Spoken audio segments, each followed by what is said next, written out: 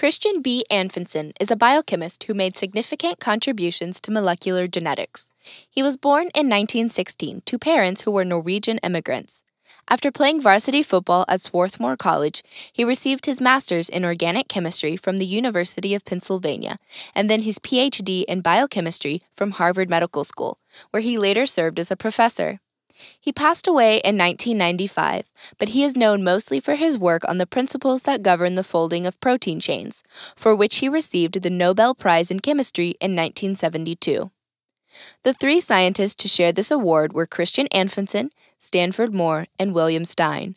Collectively, their work elucidated the relationship between the chemical structure and catalytic activity of an enzyme. An enzyme is a key substance in life. From the central dogma of molecular genetics, we know that the genetic information of DNA determines the sequence of amino acids that make up polypeptide chains. But the activity of enzymes is determined by more than just the sequence of these peptide bonds. Each enzyme is folded into a unique 3D structure called its native conformation. So, what processes govern how enzymes are folded into their 3D structures? This is what Christian Anfinsen studied. He worked with an enzyme called ribonuclease.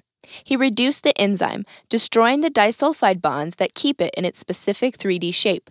This reduction denatures the enzyme, essentially scrambling it. When he left this scrambled enzyme in a solution of urea, which is a denaturing solution, the enzyme refolded in many different ways by creating all of the disulfide bonds possible. But when the scrambled enzyme was left in a solution similar to its normal cellular environment, the enzyme refolded into only its original shape. These results suggest that the biological function of an enzyme is based more on the geometry of the 3D structure than the sequence of amino acids, and that this 3D structure is determined by all of the interatomic interactions in a given environment. This means that the surroundings of the enzyme, such as the ions present in the solution, the pH, and the temperature, are just as important in how enzymes fold as the amino acid sequence itself. Anfinsen then timed how long it took for the enzyme to refold, and this led to his discovery of an enzyme system that catalyzes disulfide bonds.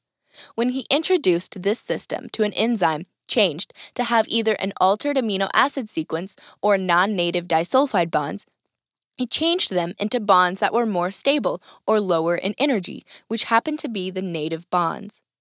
This suggests that the driving force for enzyme folding is thermodynamic, so that when the enzyme is in its native conformation, the energy of the total system is at a minimum. This means that the native structure is the most stable possible. Anfinsen combined the results of all of these investigations into what he called the thermodynamic hypothesis.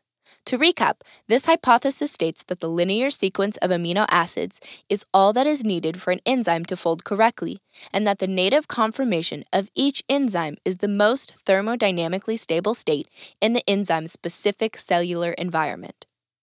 This groundbreaking research was possible only because Anfinsen possessed a unique blend of characteristics that perfectly prepared him to discover and present great contributions to the international scientific community. Anfinsen had various interests outside of the scientific arena. He played the piano and viola and enjoyed a love of sailing for many years, astonishing fellow sailors with his bravery on the water. This adventurous personality meshed well with his work, and he stayed abroad many times during his career because of it. He understood the need to build a network of international scientists, to broaden his scientific perspective, and to learn the novel techniques used in foreign laboratories he was never afraid to branch out to new methodologies or to collaborate with others. This allowed him to obtain as complete a view as possible of whatever he was studying, which ultimately led to his Nobel Prize. As a great humanitarian, Anfinsen also cared a great deal about how his work impacted the public, so his research focus changed every 10 years or so to reflect the dynamic national and international social environments. He was committed to the responsible use of research, fervently discouraging the pursuit of biological weapons and nuclear testing, supporting the freedom of international scientists in oppressive countries, and advocating strongly for human rights. This selflessness allowed his scientific and other work to have such a large impact on so many. Throughout his life, Anfinsen never lost his humble background and honored it by always keeping modest and hardworking. His passion, too, never wavered, and he fully believed that it was the journey, not the arrival, that mattered. That journey was still going full steam, even on the day of his death.